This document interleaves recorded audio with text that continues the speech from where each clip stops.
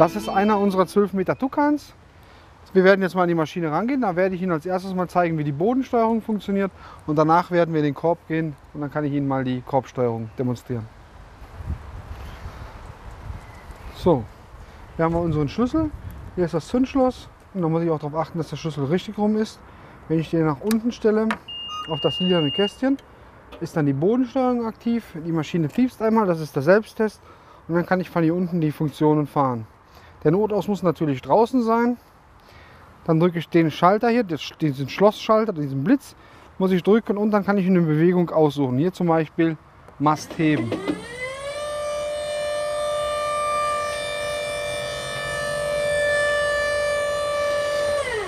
Dann habe ich zum Beispiel hier die Funktion Korbarm heben.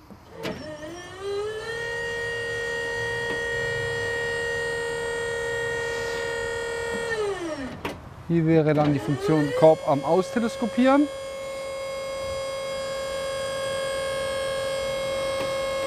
Und die letzte Funktion, die ich hier noch habe, ist den Oberwagen schwenken.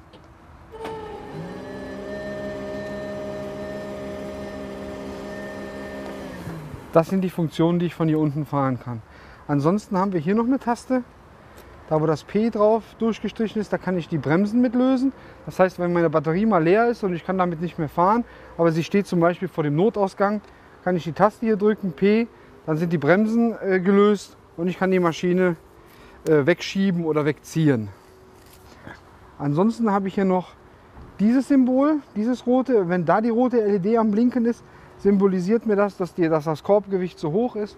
Das heißt also, ich muss Ballast aus dem Korb äh, entnehmen. Hier ist mein Betriebsstundenzähler. Auf der rechten Seite sehen Sie so einen Halbkreis. Da zeigt es mir an, wie voll die Batterie ist. Und zum Thema Batterie habe ich hier unten noch die Anzeige, wenn ich den Ladestecker eingesteckt habe, wenn die Lampe dann hier leuchtet, dann ist die Batterie voll. Wenn der gelbe Blitz oben drüber leuchtet, dann ist die Batterie äh, am Laden und ist die rote Batterieleuchte an, dann heißt es, ich habe irgendwo eine Störung vorliegen. Ansonsten haben wir hier noch die Hinweisschilder. Maximale Seitenkraft 400 Newton, maximale Windbelastung 12,5 Meter pro Sekunde. Das heißt also, wir dürfen mit der Maschine draußen arbeiten. Wir dürfen maximal zwei Personen einladen, die maximal 200 Kilo wiegen. Ja, hier hat man also gerechnet pro Person 80 Kilo.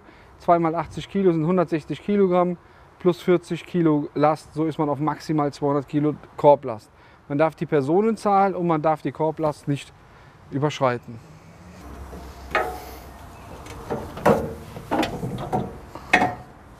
So, dann haben wir hier also unsere Korbsteuerung. Wir haben hier den Joystick. Hier vorne ist ein Totmannschalter dran. Wenn ich den Totmannschalter drücke, während der Joystick in Nullstellung ist und wenn ich dann den Joystick nach vorne bewege, fährt die Maschine nach vorne. Desto weiter ich den Joystick auslenke, desto schneller wird die Bewegung. Wenn ich den Joystick auf mich zuziehe, fahre ich zurück, wenn ich in der richtigen Richtung stehe. Ansonsten hat man zur Hilfestellung hier nochmal den weißen Pfeil und oben auf dem Joystick einen schwarzen Pfeil. Dasselbe haben wir dann unten auf der Maschine auch nochmal den schwarzen und den weißen Pfeil, damit ich mich nicht vertue mit Vorwärts- und Rückwärtsfahren, falls ich mit der Maschine mal zum Beispiel um 180 Grad verschwenkt bin. Ansonsten, die Lenkung haben wir hier oben drauf. Der rechte Mikroschalter ist für Lenken rechts, der linke Mikroschalter ist für Lenken links. Und wenn ich den Joystick erst den Totmannschalter drücke und dann den Joystick nach links bewege, schwenke ich den Oberwagen nach links.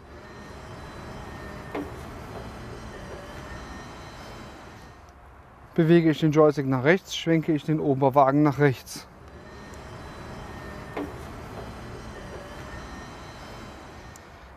Ansonsten haben wir hier die Bewegung, hier hinten Korbarm auf bzw. Korbarm ab. Diese Bewegungen hier muss ich aber in Verbindung mit diesem grünen Schalter machen. Das heißt, ich muss den grünen Schalter drücken plus die Bewegung, die ich dann hier fahren möchte. Korbarm auf, Korbarm ab.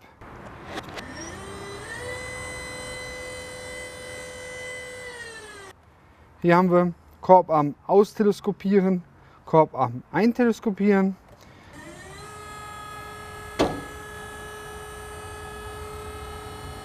Und hier haben wir den Mast heben oder das Mast senken.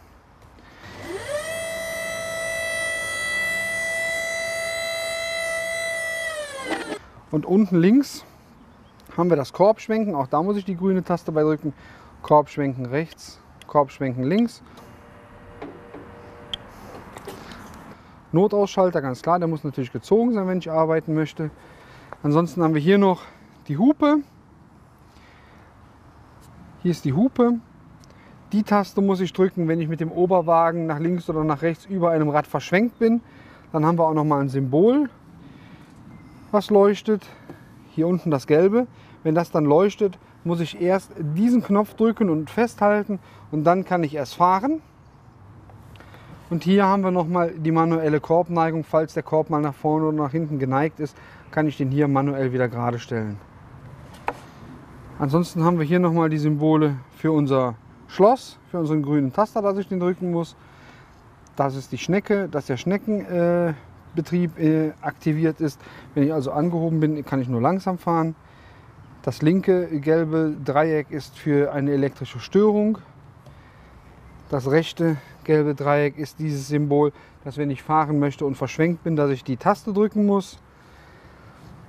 Das linke achteckige Diagramm ist äh, für den Schrägstand, dass meine Maschine schräg steht. Dann darf ich nicht weiter heben, sondern muss direkt wieder in Grundstellung fahren, muss mir einen anderen Aufstellungsort suchen.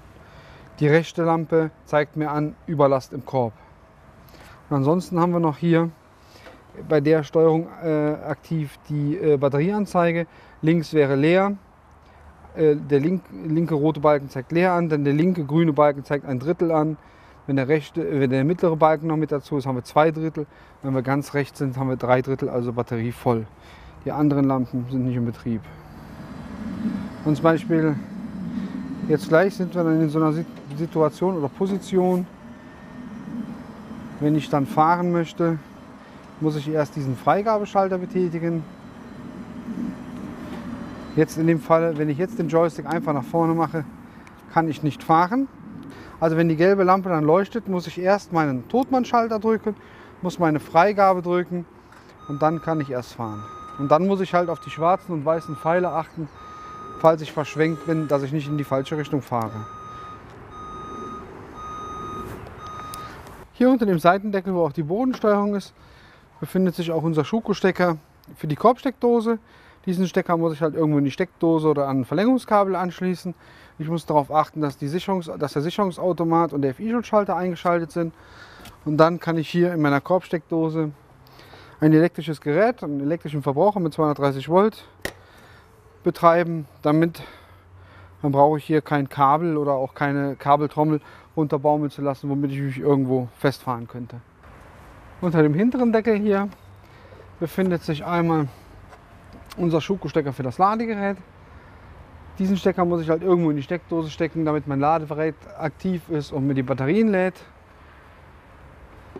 Nach dem Batterie, äh, Batterieladen muss ich auch sicherstellen, dass genug äh, Batteriewasser in den Batterien drin ist.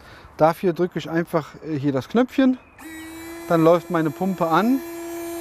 Und solange sich dieses Rädchen hier dreht, läuft Wasser durch. Das heißt also, es fehlt Wasser in den Batterien.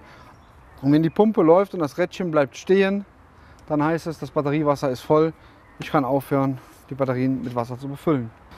So, unter dem Seitendeckel befindet sich auch noch ein Teil der Notsteuerung. Das heißt, die Rändelschraube, wo ich eben von sprach, ist diese hier. Diese muss ich äh, ganz nach links reindrehen. Ist auch auf diesem Aufkleber hier nochmal erklärt. Als erstes also die Rändelschraube ganz nach links drehen und als zweites dann hinten, wie ich eben schon mal gezeigt habe, den Hebel nach unten drücken. Dann kann ich den Mast senken und wenn ich halt ähm, den äh, Oberwagen schwenken möchte, muss ich auch die Rändelschraube nach links drehen. Muss mir hier meinen Pumpenhebel nehmen, setze den Pumpenhebel hier auf. Und dann muss ich nämlich mich entscheiden, ob ich den äh, Oberwagen nach rechts oder nach links schwenken möchte. Wenn ich den Oberwagen vom Korb aus stehend sehend äh, schwenken nach links möchte, ziehe ich diesen Button hier und pumpe. Dann bewegt sich der ganze Oberwagen nach links. Und wenn ich den reindrücke und pumpe, bewegt sich die ganze Geschichte des Oberwagens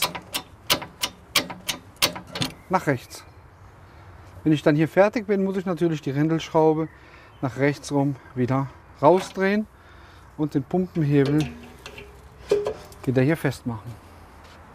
Also auch hier, um den Korbarm zu senken, muss ich erst die Rändelschraube auf der anderen Seite, die wir eben schon reingeschraubt haben, reinschrauben und dann hier diesen roten Pilzschalter Richtung Korb ziehen und somit senkt sich der Korbarm durch sein Eigengewicht nach unten.